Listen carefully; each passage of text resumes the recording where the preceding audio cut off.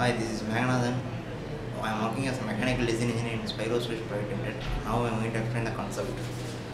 Navigation of pneumatic gripper. There are many job holding devices available in industry.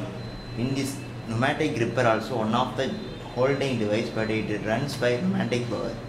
Using this pneumatic gripper will reduce the manpower effect during job loading for ma- machining. Gripping action will be done by using pneumatic power on some simple link mechanism.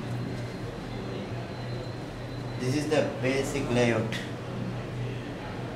of this pneumatic gripper.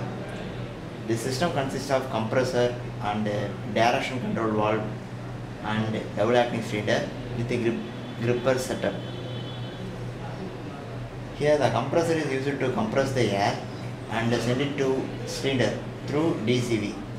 Whenever we want to grip some object, we need to activate the solenoid of DCV so that the air from compressor will get into cylinder.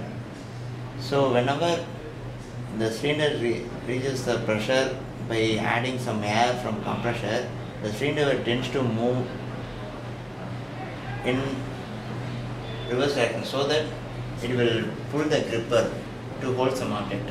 If we want to